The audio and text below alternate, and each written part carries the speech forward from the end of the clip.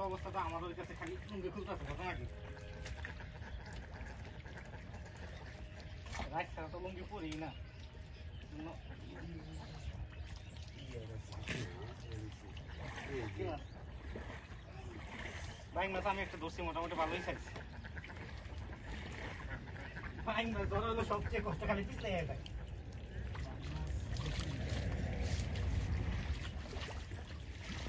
সবচেয়ে বেশি পাওয়া গেছে আজকে কই? ওই এর আগে কই কই? এর আগে চারশোর উপরে কই আর ট্যাংরা মাছ এগুলো হিসাবের বাইরে রাখছিলাম।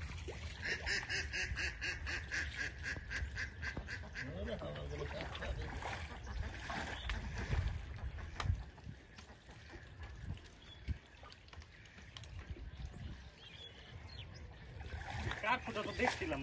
হ্যাঁ। কার ফুটা গেল সেটা তো আমিও করি।